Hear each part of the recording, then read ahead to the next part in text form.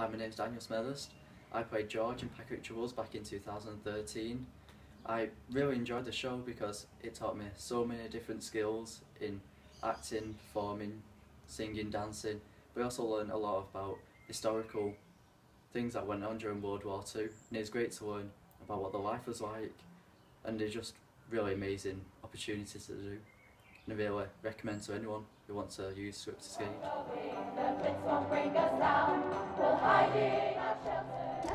The Jerry's. We know the change. The boat you wore. Oh, I know it. It needs to be more food for me. Is that all you think about? Your stomach? No, but it'd be nice to get some extra food around here. No matter what is thrown at us, together we'll overcome. For we are army, we are united. The spirit in our hearts will fight, fight, fight.